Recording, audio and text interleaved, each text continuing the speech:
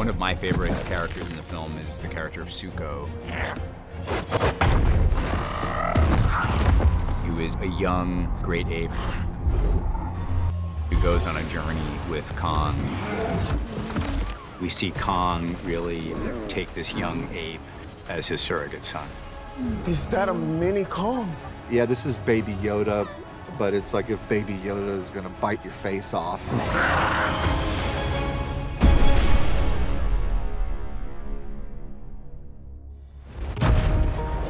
The idea of this film came from the concept of doing a Son of Kong movie. And so that's what was always in the back of my head as I was developing this is like, okay, there's gonna be a son character, but how do you get there with Kong? And what would this character be like? The only thing that I knew going into the development of him is I knew that he needed to have really big, cute eyes. And I wanted to figure out, like, can we do something that's both cute and tough at the same time? From the beginning with Suko, Adam wanted a Titan that, while cute, really had his own attitude and sneaky, fun, curious way about things. And Adam actually watched a bunch of documentaries and footage looking at young apes, really trying to imbibe that character with something enduring for the audience and slowly draw Kong in so that they become fast friends. The design started with the art department, and they came up with a character that uh, was very cute, uh, juvenile. But we took it over in visual effects to make him a little more anatomically correct.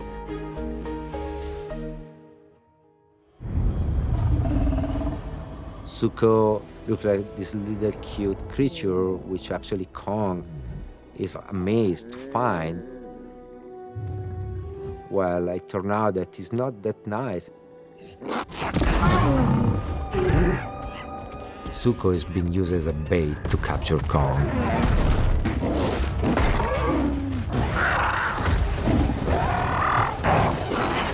The idea of Kong using Suko as a weapon was something that VFX supervisor Alessandro uh, came up with.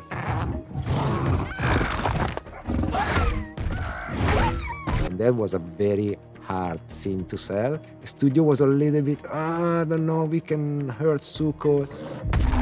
I said, no, but listen, I'm gonna add a shot, I'm gonna show that it's not hurt. That's what they did, right? So I had this shot, the Suko's recovering, still pissed, right? So you know that he hasn't been hurt.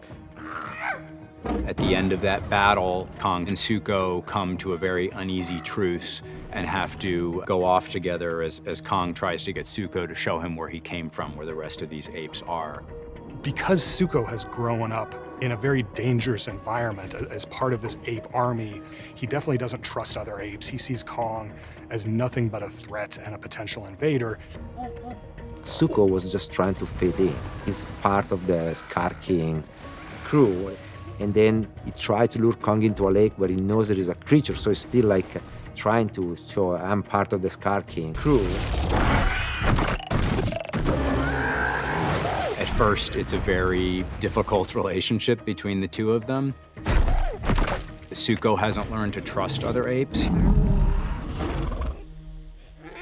And Kong has been on his own for a very long time, so suddenly he now has this young teenager he's effectively having to take care of.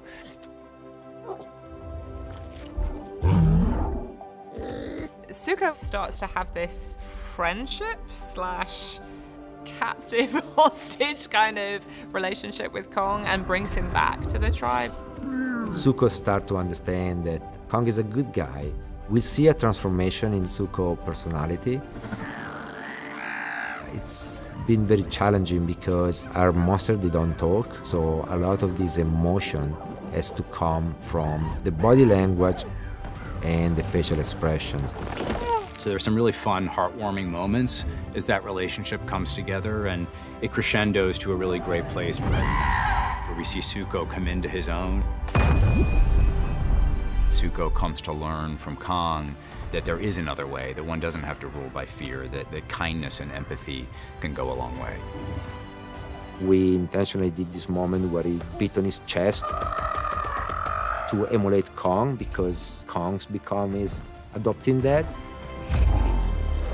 I think it's a great relationship in that you have this little Titan who's just constantly going to be getting Kong into trouble and then hoping Kong can get him out of it. Which is kind of their dynamic on this film, the sort of mismatched couple.